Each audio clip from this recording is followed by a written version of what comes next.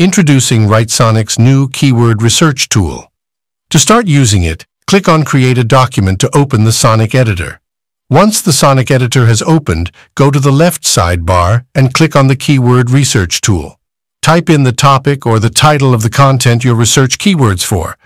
Select your location and click on Identify Keywords.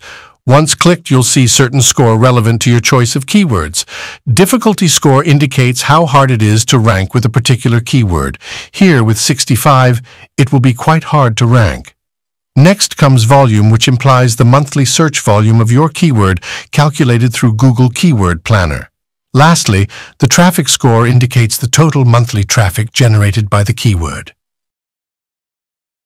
Below the scores, you will find a list of top 10 keywords relevant to your topic. Alongside, you will be find questions or long-tailed keywords too. Now, to incorporate these keywords into your content, you can do two things. Firstly, you can click Use Keywords to get redirected to the template of content where you'd the keywords to be used.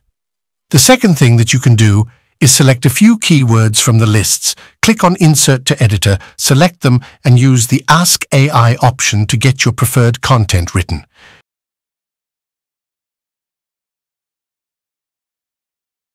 Here's to outranking your competitors with Writesonic's keyword research tool.